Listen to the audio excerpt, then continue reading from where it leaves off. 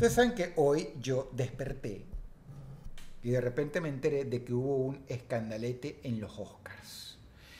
¿Eh? Los Oscars han tenido muy, muy, muy baja audiencia últimamente desde que Hollywood se volvió tan insufriblemente woke. Cada vez menos gente la ve, pero la verdad es que anoche se lucieron. Anoche dieron un espectáculo maravilloso. Tanto es así que yo sospeché que la cuestión estuvo montada en gran parte. Pero yo no puedo poner las manos en el fuego por eso. Yo no puedo pasarme de conspiranoico porque yo no estoy hablando en mi canal principal, estoy hablando acá. Y hablando en serio, no, me parece que no estuvo montado, pero eh, o sea, fue el accidente más maravilloso de la historia. Fue lo mejor que le pudo haber pasado a los Oscars, ¿verdad? Se hacen los ultrajaditos con lo que pasó, pero francamente, o sea, salió, yo creo que lo hubieran montado y no hubiera salido tan bien como lo que salió anoche. ¿Ok? Sé lo que pasó, pero no vi el video todavía. Vi fotos, leí, me lo contaron, pero yo no vi todavía el video. Vamos a poner el video ahora porque voy a reaccionar delante de todos ustedes. Voy a cortar un poquito el micrófono acá para que no se replique el sonido, ¿ok? Y voy a hacer una reacción, voy a ver por primera vez el cachetazo. Nuevamente, repito, sé lo que ocurrió, pero no lo vi, no vi el video. Vamos a ver. Voy a ponerme el audio acá para tratar el retraso lo menos posible y voy a reaccionar. A ver, con vuestro permiso. You know who's got the hardest job tonight? Javier Bardem and his wife are both nominated. Now, if she loses, he can't win. he is praying that Will Smith wins. Like, please, Lord. Jada, I love you. G.I. Jane 2, can't wait to see it. All right?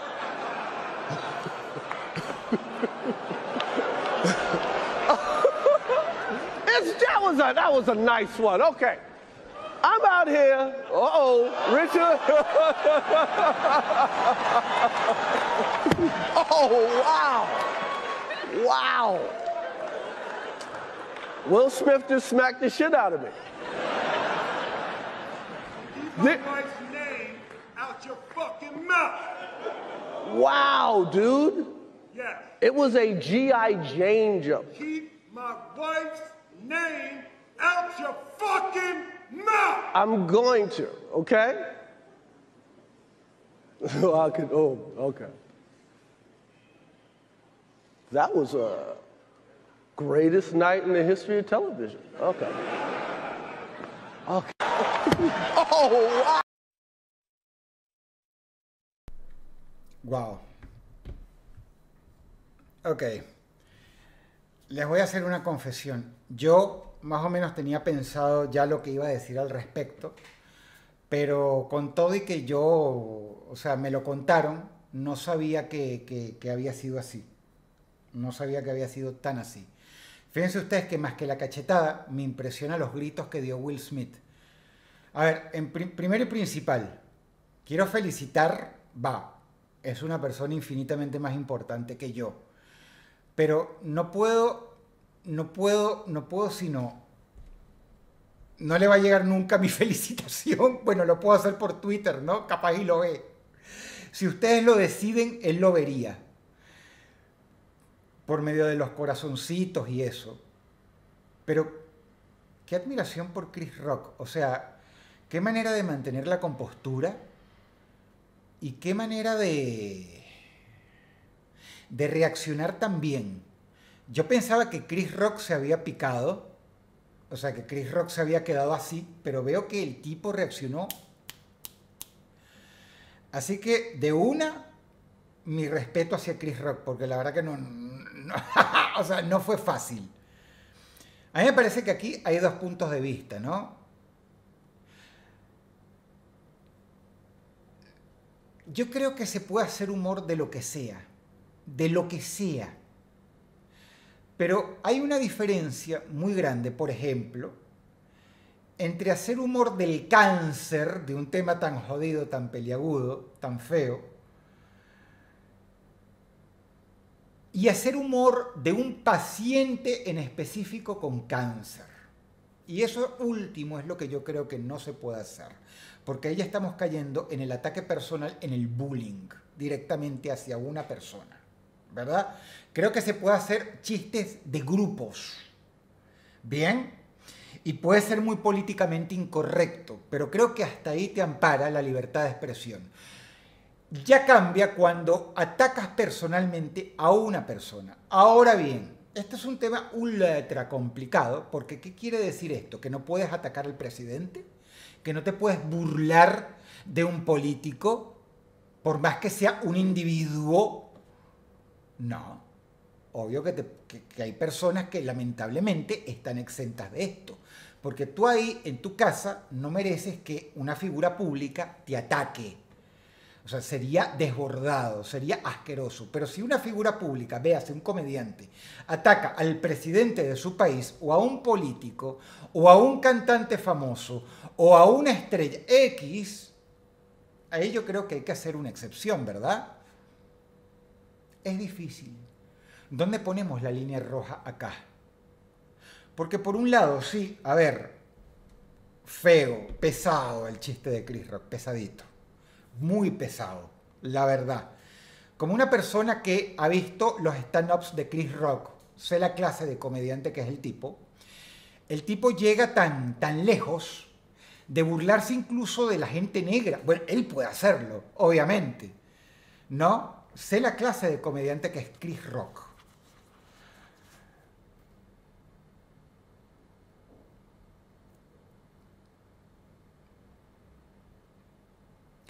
está muy bien cuando sales a representar a tu pareja. Eso me parece hermoso. Me parece hermosísimo. A ver, ¿qué, porquería habla de, de una persona, en mi opinión, cuando están atacando a tu ser querido y te quedas con los brazos cruzados?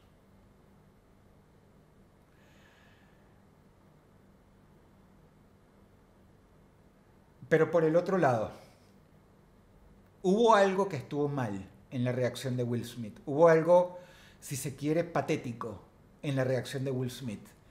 Para mí empieza cuando el tipo se pone a gritar desaforadamente y a todo pulmón, deja a mi esposa fuera de esto. No era el lugar, no era el momento. Creo que no se justifica, la verdad.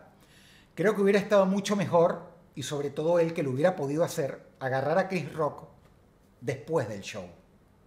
Y si la noticia hubiera salido, creo que Will Smith hubiera quedado mucho mejor, sabiendo todo el mundo que le metió un puñetazo o una bofetada a Chris Rock, pero en privado. Y en privado le hubiera dicho, le hubiera gritado en la cara, deja a mi mujer fuera de tus estupideces, de tus chistes pesados.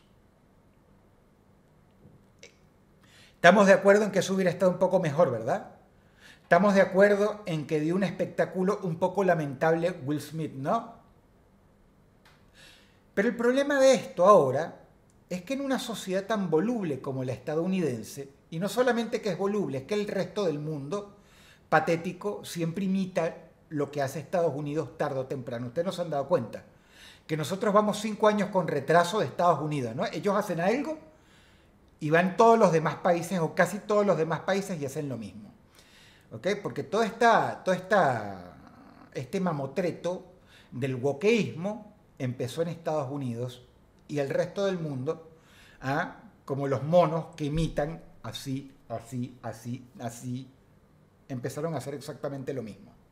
Ese es el gran poder que tiene Estados Unidos realmente. Culturalmente tienen una supremacía brutal. No me hablen de China, un carajo. Culturalmente. Entonces a mí se me ocurre que después de esto, ahora va a empezar una pandemia de bofetones a comediantes, ¿verdad? Por parte de otras estrellas y por parte de gente también que está en un, en un stand-up, que pagó una entrada, es uno más en la audiencia, no le gusta un chiste porque siente que no le gustó que un comediante se metiera con los indios o los chinos o los, latinoamericanos, o no le gustó que se metiera con el feminismo, ¿verdad? Véanlo también por ahí, ¿no? no le gustó que se metiera contra lo políticamente correcto y se siente ahora con el derecho, porque vio a Will Smith, y esto es así, lo crean o no, sobre todo en Estados Unidos, ahora vamos a ver cuánta gente se va a subir al escenario a pegarle una bofetada a los comediantes. Esto por un lado puede pasar, y lo creo perfectamente capaz de pasar, o sea, sí. Pero por el otro, por el otro, creo que hay que evitar los ataques personales. Creo que cuando te metes en específico con una persona, ahí es cuando comienzan los problemas. No es lo mismo, qué sé yo, meterte con la gente blanca o negra o amarilla o con los eslavos ¿ah? o con la gente color café, café con leche obviamente, en general y hacer chistes, o contra los judíos, o contra los católicos, o contra los musulmanes, que meterte con Pedro Pérez específicamente y humillarlo a delante de todo el planeta Tierra. Pero por el otro lado, gente, la esposa de Will Smith es una actriz, es una persona muy famosa y Chris Rock no es la primera persona que desde los Oscar incluso desde cualquier escenario, pero sobre todo también de los Oscars, vaya a hacer chistes de la gente. De hecho, eso es usual, se hace. Se hace. Entonces, ¿cómo hacemos acá? ¿Dónde se traza la línea roja exactamente? Es complicado. Es sumamente complicado. Nuevamente los medios asquerosos pusieron dieron la nota diciendo que había sido un golpe. No, no fue un golpe, gente, fue un bofetón. Qué idiotas los medios. porque lo primero que yo había leído en la mañana era que fue un puñetazo. No, no fue un puñetazo, huevón, fue una bofetada. Una bofetada con un impulso, una bofetada sopero, o una bofetada así toda mala. Fue brutal. Pero qué sé yo. Por un lado entiendo a Will Smith, por el otro me parece ciertamente patético lo que hizo. No me parece que el tipo haya quedado bien realmente. No me parece que el tipo haya quedado bien realmente. Y como siempre, eh, tuvieron que poner paños fríos. Y fue Anthony Hopkins el que cuando le tocó hablar por el micrófono, dijo lo justo, dijo algo absolutamente maravilloso, dijo algo que es un testamento a la sabiduría de ese hombre, que amén de gran actor se nota que es un veterano de la vida. Obviamente eh, no, no replicaron lo que dijo Anthony Hopkins, debe ser porque es un tipo blanco, es un hombre blanco con ojos azules, heterosexual y obviamente no hacía falta que Anthony Hopkins fuera, no sé, de cualquier otra raza para que, qué sé yo, el mundo entero lo estuviera aplaudiendo como merece ser aplaudido realmente por lo que dijo. Una crítica muy justa a Will Smith y con elegancia y con, con, mucha, con mucha mano derecha también. ¿Qué sé yo? ¿Qué sé yo? ¿Qué sé yo? Mi conclusión es esa. Por un lado lo entiendo, pero por el otro me parece un poco patético. Lo suyo me pareció un poco patético. Me parece que no era el momento, no era el lugar de hacer eso. Y yo creo que esto le va a traer más quebraderos de cabeza que felicitaciones al final del día. Y creo también, creo también que ahorita él abrió las puertas a que todos los comediantes del mundo se metan con él y con su mujer. Creo que lo que él hizo va a tener un efecto Streisand enorme.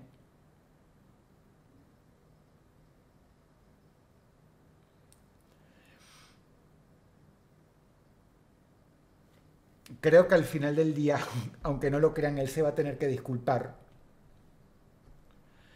Y lo que me preocupa a mí más que lo que pasó en un show tan decadente y aburrido como son los Óscares, Fíjense ustedes que cada año menos audiencia tenía que pasar, que tenía que darse un espectáculo patético entre dos personas de raza negra ¿ah? ahí para que volviera a tener algo de vida por todas las razones equivocadas. Fíjense ustedes que yo ni sé qué película ganó. Creo que la película, la mejor película del año este es lo de menos realmente. Fue lo de menos. ¿Quién ganó el Oscar a Mejor Actor? ¿Quién ganó el Oscar a Mejor Actriz? Métanselo por el culo, es lo de menos. Es lo de menos realmente. De lo que se está hablando es del cachetazo y esto, francamente, en mi opinión, hunde mucho la calidad de los Oscars para volverlo un show patético y bananero como los que estamos acostumbrados en nuestros países del tercer mundo.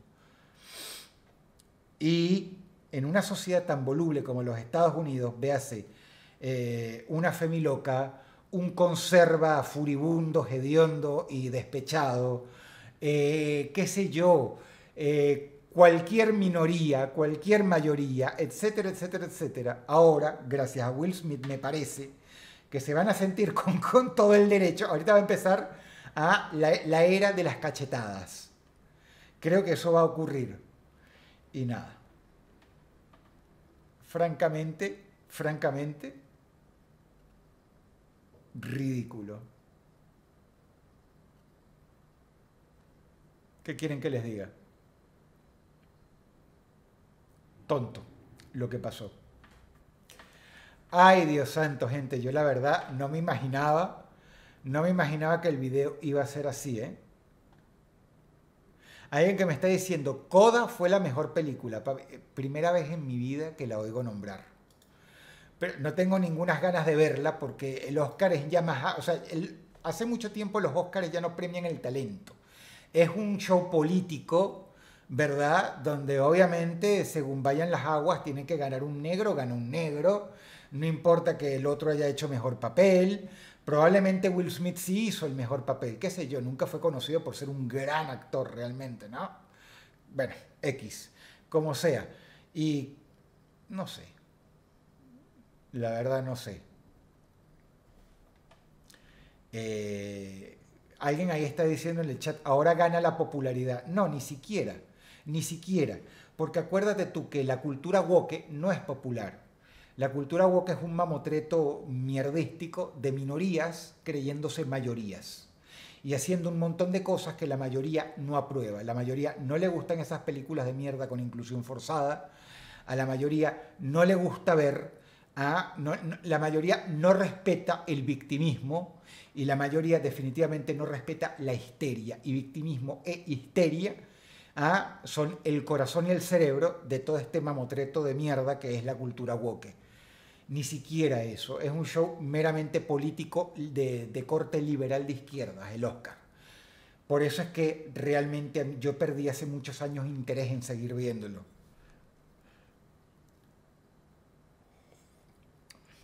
Y francamente, es patético que a diferencia de los mejores años, los mejores tiempos, no sean, o sea, ya no se les reconozca por premiar a los mejores actores, las mejores actrices, las mejores películas, sino por ser simplemente un aparato propagandístico de Hollywood. Ya está. Y del Partido Demócrata. Lo único, lo único que no apestó a mierda lo único que no apestó esa noche fue Sir Anthony Hopkins, que francamente, búsquenlo, dijo algo maravilloso y criticó con mucho, mucho, mucho guante blanco a Will Smith. Últimamente, yo entiendo sus sentimientos, pero lo que hizo estuvo mal. No era el momento. Se dejó llevar por la calentura se dejó llevar por la calentura. Él tuvo que haber invocado a Chris Rock en otro lugar. Esa misma noche ni siquiera se hubiera tenido que aguantar las ganas mucho tiempo, ¿eh? ¿Qué quieren que les diga? Fuá.